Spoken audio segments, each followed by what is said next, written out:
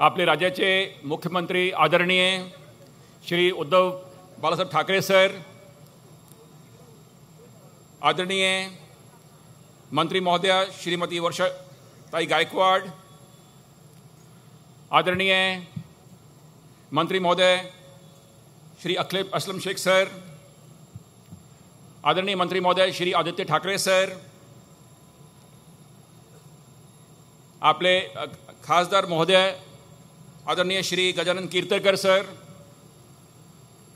आदरणीय श्री सुनील प्रभू सर आदरणीय श्री सुनील शिंदे सुनील शिंदे सर आदरणीय आपले माजी महापौर महोदया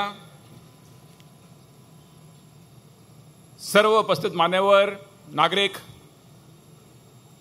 सर्व प्रिंट इलेक्ट्रॉनिक मीडियाचे मान्यवर आणि माझे सर्व सहकारी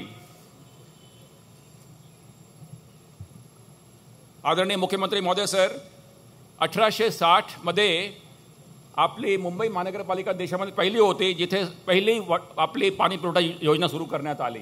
मग एटीन सिक्स्टीमध्ये त्यानंतर सर आज मुंबई महानगरपालिकाची जे वॉटर सप्लाय स्कीम आहे ज्याची लांबी जवळपास सहा हजार किलोमीटर आहे त्यानंतर शंभर किलोमीटर एकूण सर बोगद्याची आपली सर लांबी आहे आणि हे सर आपली जी वॉटर सप्लाय स्कीम आहे त्यामध्ये जवळपास चार लक्ष साठ हजार डिस्ट्रीब्युशन नेटवर्कचे पाईपलाईन्स आहेत.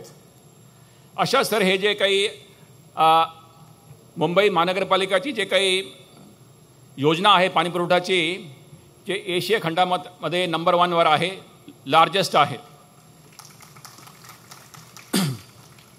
आज सध्या आपण सर सात धरणाचा वापर करून ज्यामध्ये सर आपला सर अपर वतरणा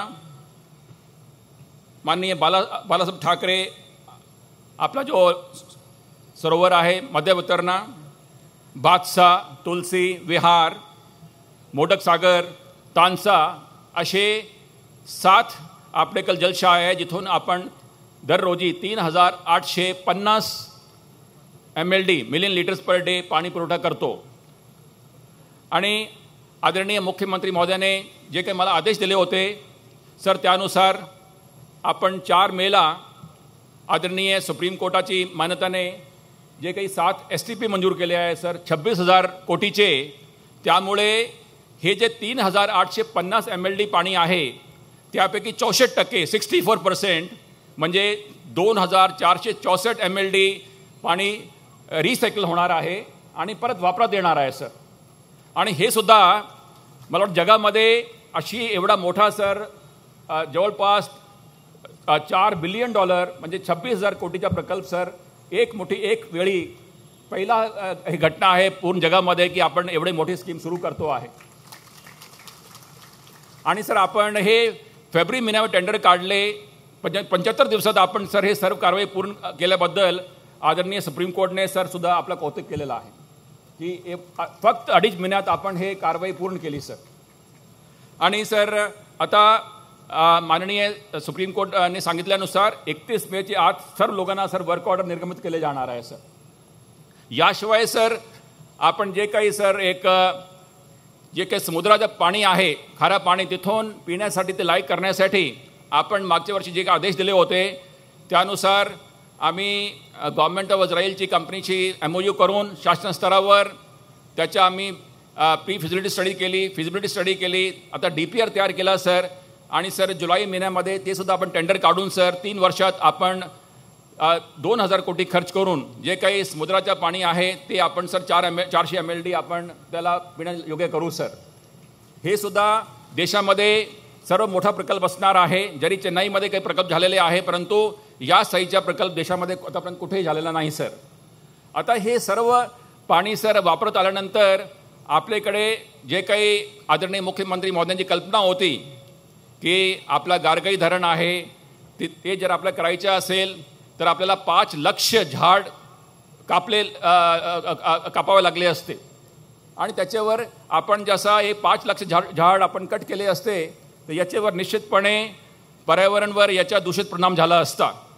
ते आपण सर बाजूला करून आदरणीय मुख्यमंत्री मोद्यांच्या आदेशानुसार आपण ऑल्टरनेट काढले आणि ऑल्टरनेट आता आपण सर ॲक्च्युअल आपण इम्प्लिमेंटेशन लेवलवर आणलेले आहे.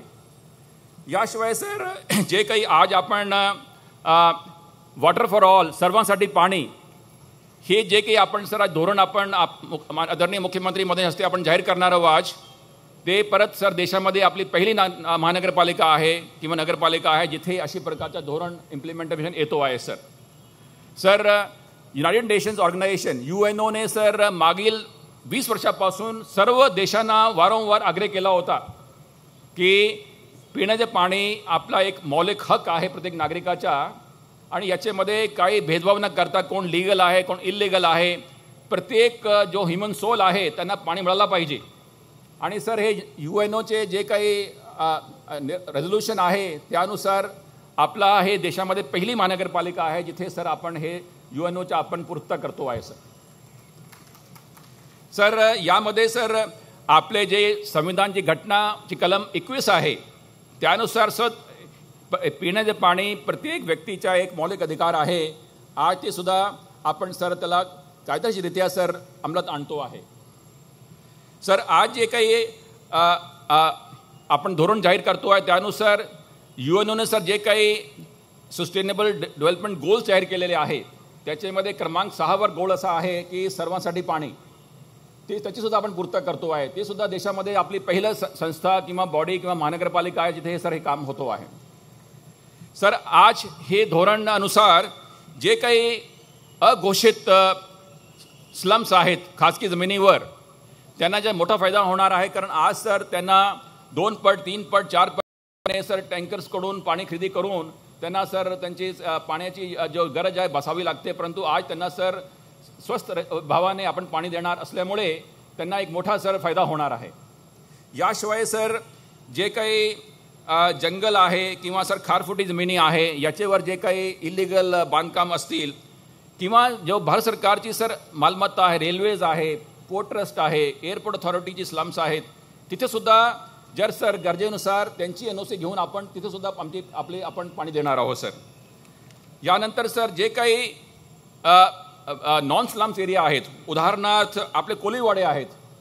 कोलीवाड्यामध्ये सर दोन हजार एक नंतर जर काही नवीन बांधकाम झालं असेल तर आज आपण त्यांना आपण लिगल कनेक्शन देत नाही परंतु आता त्यांना सुद्धा हे लिगल कनेक्शन मिळणार आहे सर.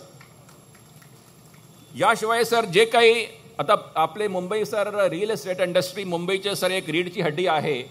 इथे सर जीवनप्रांत एखाद्या व्यक्तीला सर सी सी मिळत नाही.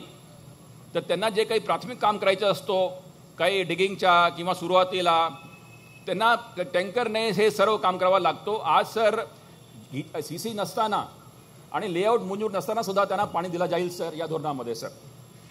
यानंतर सर जे काही आपला एप्रिल एकोणीसशे चौसष्ट नंतर जे काही आपल्याकडे सर अनधिकृत बांधकाम असतील किंवा अनेक बांधकामाला जिथं ओसी नाही ते सुद्धा अर्ज करून सर आता आपल्याकडून सर पाणी जे हे फॅसिलिटी घेऊ शकतात. असा एक अतिशय सर हे आपला महत्त्वाचं हे पाऊल आहे की आज आपण सर्वांसाठी पाणी हे जो स्कीम आणलेली आहे मला खात्री आहे की देशाचे इतर जे काही महानगरपालिका आहे यालासुद्धा याचं अनुकरण करतील सर. आणि मी या ठिकाणी सर आपल्याला ग्वाही देऊ इच्छितो आपण हे जाहीर केल्यानंतर सर उद्यापासून आम्ही ह्याची इम्प्लिमेंटेशन करू सर. आणि कोणताही नागरिक आपला सर वंचित राहणार नाही अशी मी आपल्या ग्वाही देतो सर. धन्यवाद. जय हिंद जय महाराष्ट्र. एबीपी माझा. उघडा डोळे बघा नीट.